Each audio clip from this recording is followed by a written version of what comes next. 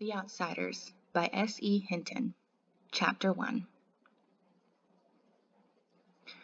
When I stepped out into the bright sunlight from the darkness of the movie house, I had only two things on my mind Paul Newman and a ride home. I was wishing I looked like Paul Newman. He looks tough, and I don't. But I guess my own looks aren't so bad. I have light brown, almost red hair and greenish gray eyes. I wish they were more gray because I hate most guys that have green eyes but I have to be content with what I have. My hair is longer than a lot of boys wear theirs, squared off in back and long at the front and sides, but I am a greaser and most of my neighborhood rarely bothers to get a haircut. Besides, I look better with long hair.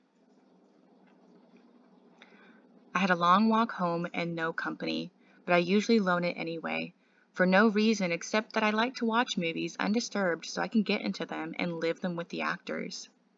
When I see a movie with someone, it's kind of uncomfortable, like having someone read your book over your shoulder. I'm different that way. I mean, my second oldest brother, Soda, who is 17, 16 going on 17, never cracks a book at all, and my oldest brother, Darrel, who we call Darry, works too long and hard to be interested in a story or drawing a picture, so I'm not like them. And nobody in our gang digs movies and books the way I do. For a while there, I thought I was the only person in the world that did so I loaned it. Soda tries to understand at least which is more than Darry does, but then Soda is different than anybody. He understands everything almost, like he's never hollering at me all the way all the time the way Darry is, or treating me as if I was six instead of fourteen. I love Soda more than I've ever loved anyone, even mom and dad. He's always happy-go-lucky and grinning, while Darry's hard and firm and rarely grins at all. But then, Darry's gone through a lot in his 20 years, grown up too fast. Soda Pop will never grow up at all. I don't know which way is the best. I'll find out one of these days. Anyway, I went on walking home, thinking about the movie, and then suddenly wishing I had some company. Greasers can't walk alone too much or they'll get jumped. Or someone will come by and scream, Greaser! at them. Which doesn't make you feel too hot, if you know what I mean. We get jumped by the Socs. I'm not sure how you spell it, but it's the abbreviation for the socials, the jet set, the West Side rich kids. It's like the term greaser, which is used to class all us boys on the East Side. We're poorer than the Socs and the middle, so middle class. I reckon we're wilder too, not like the Socs who jump greasers and wreck houses and throw beer blasts for kicks, and get editorials in the paper for being a public disgrace one day and an asset to society the next day. Greasers are almost like hoods. We steal things and drive old souped up cars and hold up gas stations and have a gang fight once in a while. I don't mean I do things like that. Darry would kill me if I got into trouble with the police. Since mom and dad were killed in an auto wreck, the three of us get to stay together only as long as we behave. So Soda and I stay out of trouble as much as we can, and we're careful not to get caught when we can't. I only mean that most greasers do things like that. Just like we wear our long hair, our hair long, and dress in blue jeans and t-shirts or leave our shirt tails out and wear leather jackets and tennis shoes or boots. I'm not saying that either Socs or greases are better, that's just the way things are. I could have waited to go to the movies until Darry or Soda Pop got off work. They would have gone with me or driven me there or walked along, although Soda just can't sit still long enough to enjoy a movie and they bore Darry to death. Darry thinks his life is enough without inspecting other people's. Or I could have gotten one of the gang to come along, one of the four boys Darry and Soda and I have grown up with and consider family. We're almost as close as brothers. When you grow up in a tight-knit neighborhood like ours, you get to know each other real well. If I had thought about it, I could have called Darry and he would have come by on his way home and picked me up, or Two-Bit Matthews, one of our gang, would have come to get me in his car if I had asked him. But sometimes I just don't use my head.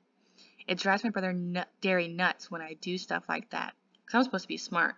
I make good grades and I have a, a high IQ and everything, but I don't use my head. Besides, I like walking. I about decided I didn't like it so much though when I spotted that red Corvair trailing me. I was almost two blocks from home then, so I started walking a little faster. I had never been jumped, but I had seen Johnny after four Socs got hold of him, and it wasn't pretty. Johnny was scared of his own shadow after that. Johnny was 16 then. I knew it wasn't any use though, the fast walking I mean.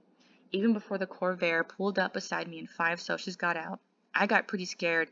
I'm kind of small for 14, even though I had a I have a good build, and those guys were bigger than me. I automatically hitched my jeans into my hitched my thumbs in my jeans and slouched, wondering if I could get away if I made a break for it.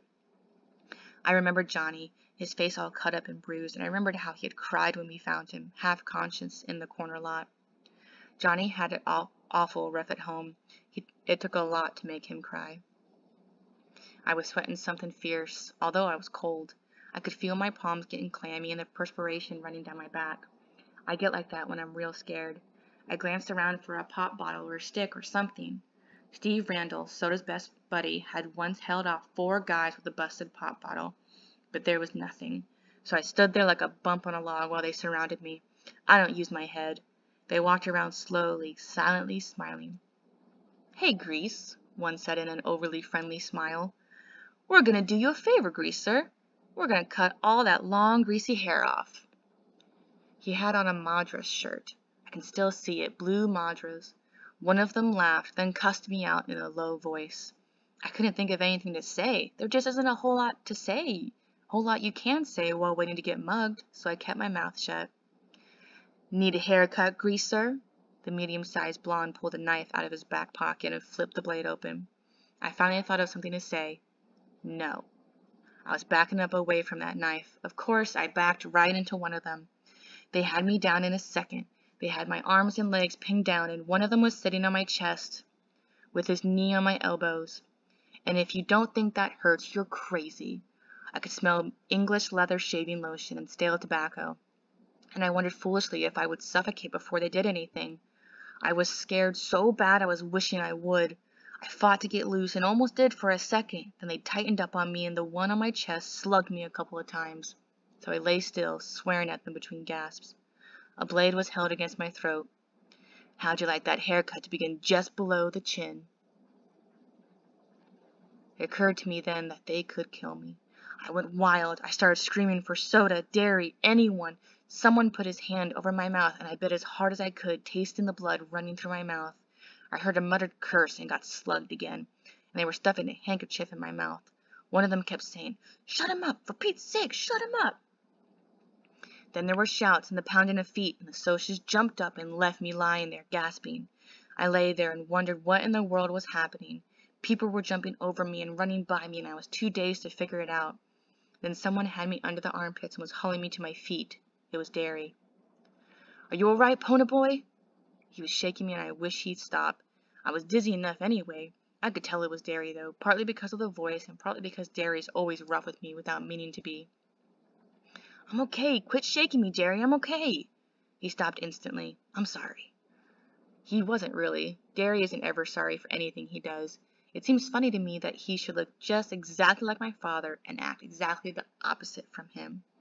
My father was only 40 when he died and he looked 25, and a lot of people thought Darry and Dad were brothers instead of father and son. But they only looked alike. My father was never rough with anyone without meaning to be. Darry is six foot two and broad-shouldered and muscular. He has dark brown hair that kicks out in front and a slight cowlick in the back, just like Dad's. But Darry's eyes are his own. He's got eyes that are like two pieces of pale blue-green ice. They've got a determined set to them like the rest of him. He looks older than 20, tough, cool, and smart. He'd be real handsome if his eyes weren't so cold. He doesn't understand anything that is not plain, hard facts, but he uses his head. I sat down again, rubbing my cheek where I'd been slugged the most. Darry jammed his fist in his pockets. They didn't hurt you too bad, did they? They did. I was smarting and aching, and my chest was sore, and I was so nervous, my hands were shaking, and I wanted to start bawling, but you just don't do that to Darry. I'm okay. Soda Pop came loping back, but then by then I had figured that all the noise I had heard was the gang coming to rescue me. He dropped down beside me, examining my head. You got cut up a little, huh, Ponyboy? I only looked at him blankly. I did? He put out a handkerchief, wet the end of it with his tongue, and pressed it gently against the side of my head. You're bleeding like a stuck pig. I am? Look! He showed me the handkerchief, reddened as if by magic. Did they pull a blade on you? I remembered the voice. Need a haircut, greaser? The blade must have slipped while he was trying to shut me up. Yeah. Soda is handsomer than anyone else I know. Not like Darry. Soda's movie star kind of handsome, the kind that people stop on the street to watch go by. He's not as tall as Darry and he's a little slimmer, but he has a finely drawn, sensitive face that somehow manages to be reckless and thoughtful at the same time. He's got dark gold hair that he combs back, long and silky and straight, and in the summer the sun bleaches it to a shining wheat gold. His eyes are dark brown, lively, dancing, recklessly laughing eyes that can be gentle and sympathetic one moment and blazing with anger the next. He has dad's eyes, but Soda is one of a kind. He can get drunk in a drag race or dancing without ever getting near alcohol.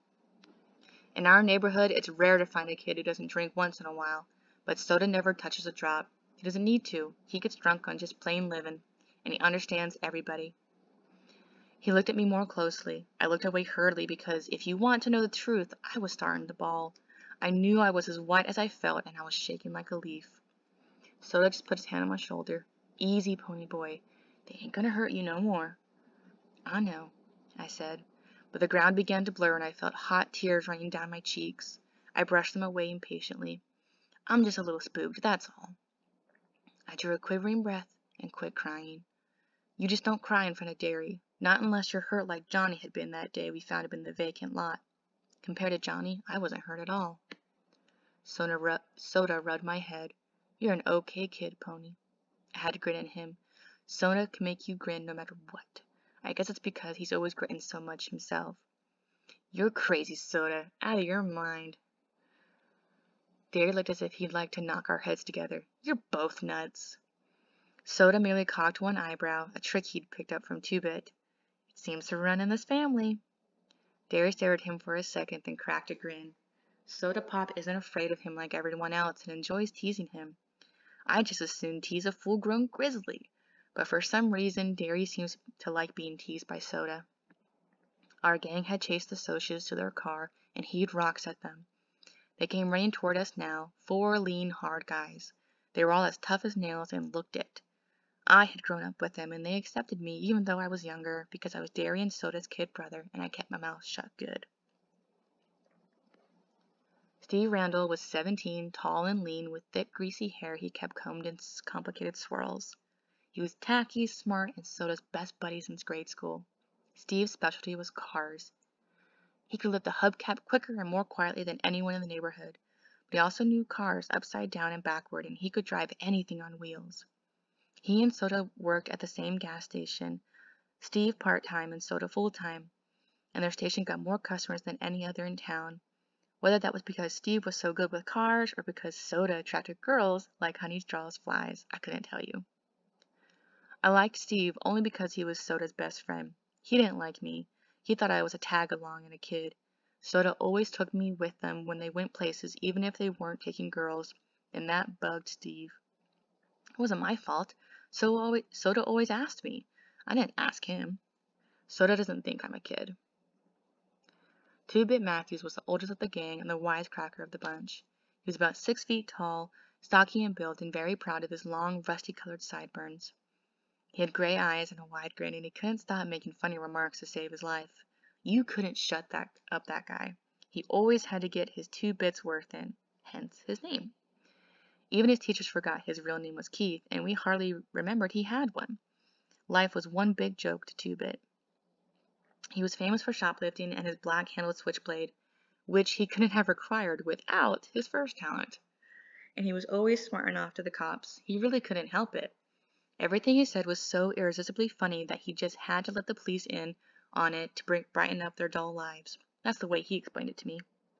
He liked fights, blondes, and for some unfathomable reason, school. He was still a junior at 18 and a half, and he had never learned anything. He just went for kicks. I liked him well because he kept us laughing at ourselves as well as the other things. He reminded me of Will Rogers. Maybe it was the grin. If I had to pick the real character of the gang, it would be Dallas Winston, Dally. I used to like to draw his picture when, when he was in a dangerous mood, for then I could get his personality down in a few lines. He had an elvish face, with high cheekbones and a pointed chin, small, sharp animal teeth and ears like a lynx. His hair was almost white, it was so blonde, and he didn't like haircuts, or hair oil either, so it fell over his forehead in wisps and kicked out in the back in tufts and curled behind his ears and along the nape of his neck. His eyes were blue, blazing eyes cold with the hatred of the whole world. Dally had spent three years on the wild side of New York and had been arrested at the age of ten. He was tougher than the rest of us, tougher, colder, meaner. The shade of difference that separates a greaser from a hood wasn't present in Dally. He was as wild as the boys in the downtown outfits, like Tim Shepard's gang. In New York, Dally blew off steam in gang fights, but here, organized gangs are ra rarities. They are just small bunches of friends who stick together, and the warfare is between the social classes. A rumble, when it's called, is usually born of a grudge fight, and the opponents just happen to bring their friends along. Oh, there are a few named gangs around, like the River Kings and the Tiber Street Tigers, but here in the Southwest there's no gang rivalry. So Dally, even though he could get into a good fight sometimes, had no specific thing to hate. No rival gang, only Socs. And you can't win against them no matter how hard you try because they've got all the breaks, and even whipping them isn't going to change that fact. Maybe that was why Dallas was so bitter. He had quite a reputation. They have a file on him down at the police station. He had been arrested, he got drunk, he rode in rodeos, lied, cheated, stole, rolled drunks, jumped small kids. He did everything. I didn't like him, but he was smart, and you had to respect him. Johnny Cade was last and least. If you can picture a little dark puppy that has been kicked too many times and is lost in a crowd of strangers, you'll have Johnny. He was the youngest, next to me, smaller than the rest with a slight build. He had big black eyes and a dark tanned face. His hair was jet black and heavily greased and combed at the side, but it was so long that it fell in shaggy banks across his forehead. He had a nervous, suspicious look in his eyes, and that beating he got from the Socs didn't help matters. He was the gang's pet, everyone's kid brother. His father was always beating him up, and his mother ignored him except when she was hacked off at something and you could hear her yelling at him clear down at our house. I think he hated that worse than getting whipped. He would have run away a million times if we hadn't been there, if it hadn't been for the gang. Johnny would never have known what love and affection are. I wiped my eyes hurriedly. Did you catch 'em? Nope. They got away this time, the dirty. Two-Bit went on cheerfully, calling the Socs every name he could think of or make up. The kids okay? I'm okay. I try to think of something to say. I'm usually pretty quiet around people, even the gang. I changed the subject. I didn't know you were at the cooler yet, Dally. Good behavior. Got off early. Dallas lit a cigarette and handed it to Johnny. Everyone sat down to have a smoke and relax. A smoke always lessens the tension. I had quit trembling and my color was back. The cigarette was calming me down. Two-Bit cocked an eyebrow. Nice looking bruise you got there, kid. Touched my cheek gingerly. Really? Two-Bit nodded sagely. Nice cut, too. Makes you look tough. Tough and tough are two different words. Tough is the same as rough. Tough means cool, sharp, like a tough looking Mustang or a tough record. In our neighborhood, both are compliments. Steve flicked his ashes at me. What were you doing walking by your lonesome? Leave it to good old Steve to bring up something like that. I was coming home from the movies. I didn't think. You don't ever think, Darry broke in not at home or anywhere where it counts. You must think at school, with all those good grades you bring home and you've always got your nose in a book. But do you ever use your head for common sense? No sirree, bub. And if you did have to go by yourself, you should have carried a blade. I just stared at the hole in the toe of my tennis shoe. Me and Darry just didn't dig each other. I never could please him. He would have hollered at me for carrying a blade if I had carried one. If I if I brought home B's, he wanted A's, and if I got A's, he wanted to make sure they stayed A's. If I was playing football, I should be in studying, and if I was reading, I should be out playing football. He never hollered at Soda Pop, not even when Soda dropped out of school or got tickets for speeding. He just hollered at me. Soda was glaring at him. Leave my kid brother alone, you hear? It ain't his fault he likes to go to the movies, and it ain't his fault the Socs like to jump us. And if he had been carrying a blade, it would have been a good excuse to cut him to ribbons. Soda always takes up for me. Darry said impatiently, When I want my kid brother to tell me what to do with my other kid brother, I'll ask you, kid brother. But he laid off me. He always does when Soda Pop tells him to, most of the time. Next time get one of us to go with you, Ponyboy, Two-Bit said. Any of us will. Speaking of movies, Dally yawned, flipping away his cigarette butt. I'm walking over to the Nightly Double tomorrow night. Anybody want to come and hunt some action? Steve shook his head. Me and Soda are picking up Evie and Sandy for the game. He didn't need to look at me the way he did right then. I wasn't going to ask if I could come. I'd never tell Soda because he really likes Steve a lot, but sometimes I can't stand Steve Randle. I mean it, sometimes I hate him. Darry sighed, just like I knew he would. Darry never had time to do anything anymore. I'm working tomorrow night. Dally looked at the rest of us. How about y'all? Two-Bit? Johnny Cake, you and Pony want to come? Me and Johnny will come, I said. I knew Johnny wouldn't open his mouth unless he was forced to. Okay, Darry? Yeah, since it ain't a school night. Darry was real good about letting me go places on the weekends. On school nights, I could hardly leave the house. I was planning on getting boozed up tomorrow night, Two-Bit said. If I don't, I'll walk over and find y'all. Steve was looking at Dally's hand. His ring, which he had rolled a drunk senior to get, was back on his finger. You break up with Sylvia again? Yeah, and this time it's for good. That little broad was two-timing me again while I was in jail. I thought of Sylvia and Evie and Sandy and Two-Bit's many blondes. They were the only kind of girls that would look at us, I thought. Tough, loud girls who wore too much eye make makeup and giggled and swore too much. I liked Soda's girl, Sandy, just fine, though. Her hair was natural blonde and her laugh was soft, like her china blue eyes. She didn't have a real good home or anything and was our kind, greaser, but she was a real nice girl. Still, lots of times I wondered what other girls were like. The girls who were bright-eyed and, and had their dresses at decent length and acted as if they'd like to spit on us if given a chance. Some were afraid of us, and remembering Dallas Winston, I don't blame them. For most, but most looked at us like we were dirt.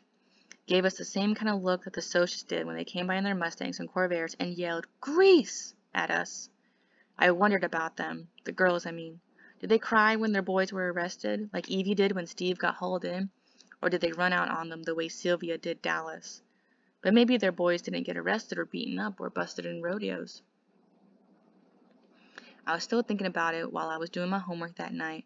I had to read Great Expectations for English, and that kid Pip, he reminded me of us.